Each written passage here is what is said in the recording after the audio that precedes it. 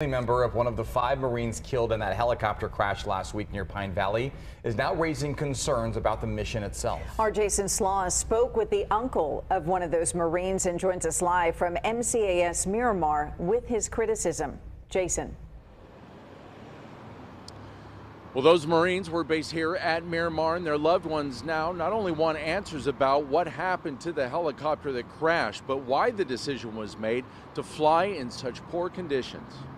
And it's a terrible tragedy for uh, for all of these families. Bradford Moulton is the uncle of Captain Benjamin Moulton, one of five Marines killed last week when the helicopter they were flying from Nevada to MCAS Miramar crashed in Pine Valley during a storm. He was just a good, good kid, um, and it's just a tragedy that that he's gone over a stupid mistake. Moulton says he can't understand why the go ahead was given for takeoff. They shouldn't have been off the ground.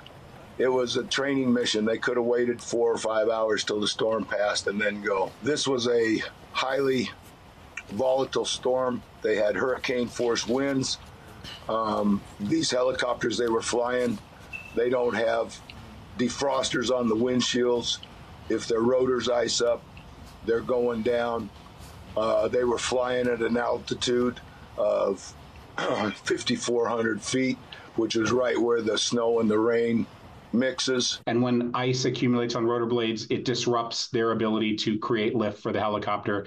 That could be, uh, you know, an issue that they were dealing with at the time. Attorney Timothy Loranger is a Marine vet with experience as a pilot and aircraft mechanic. He says investigators will closely look at whether the Marines on board had other problems with the helicopter. It could have been any number of other mechanical issues that they that came up at a very bad time when they were flying in, in challenging conditions that take a lot of uh, pilot resources and attention. And if they experienced another mechanical issue or a mechanical issue, uh, they would be uh, hard pressed to deal with both things, and that may have led to this. Meanwhile, the families of those Marines wait for answers as they honor their loved ones. He was going to be a Marine if it killed him. Well, he made it to Marine, and they killed him. That's all we can say. And we can now confirm that the remains of those Marines were transferred today to Dover Air Force Base in Delaware, where families will attend a private ceremony. Live at MCAS Miramar, Jason Sloss, Fox 5 News.